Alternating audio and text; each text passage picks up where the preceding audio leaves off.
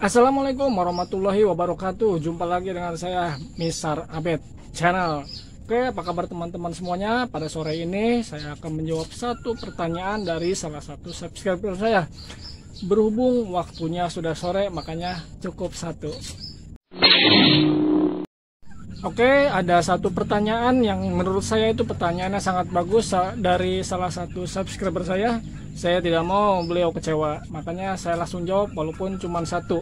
Pertanyaannya cukup bagus yaitu bagaimana Bang cara merawat ayam pakoi supaya berakotnya tidak hilang. Oke, langsung aja. Let's go.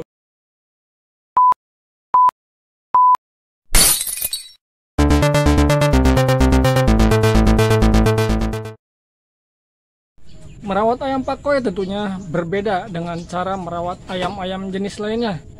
Untuk merawat ayam pakoi supaya berakotnya tidak hilang, yang pertama untuk cara perawatannya.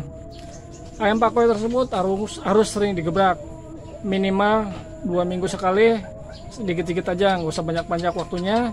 Ya kisaran antara 5 eh, sampai 10 menit begitu teman-teman.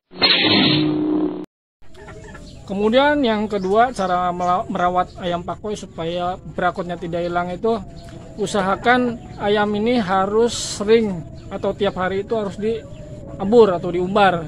Minimal 5 jam sekali dia harus diumbar. Dan kalau toh harus ditaruh di kandang umbaran usahakan kandang umbarannya itu yang sedikit uh, besar atau lebar begitu teman-teman. Jadi dia ada gerak bebasnya begitu. Kemudian yang ketiga untuk merawat ayam pakoi supaya berakotnya tidak hilang, usahakan jangan sering kena tangan atau perawatannya jangan sering kita apa namanya ya sering kena usap-usap atau apa jangan. Nanti kalau terlalu sering, nanti uh, ayamnya itu akan berotot. Berotot itu bagus, tapi jangan terlalu jadi kekar. Nanti berakotnya akan hilang.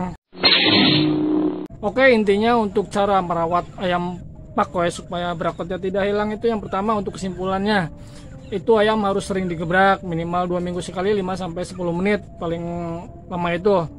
Untuk yang kedua uh, kasih kandang umbaran yang sedikit lebar ya lebih luas dan uh, minimal tiap hari harus dilepas atau diumbar 5 jam sekali itu tiap hari teman-teman itu wajib hukumnya. Dan yang ketiga jangan terlalu sering kena tangan untuk perawatannya. Jadi nanti ayam akan berotot berototnya kekar gitu. Jadinya kurang bagus nanti berakotnya akan hilang oke teman-teman atau satu subscriber saya yang membuat apa memberi pertanyaan lewat komentar mudah-mudahan ini bermanfaat dan istilahnya dapat berguna dan dapat menjadi inspirasi buat uh, anda dan teman-teman semuanya terus dukung channel Mister Abed ini supaya terus berkembang dan eks.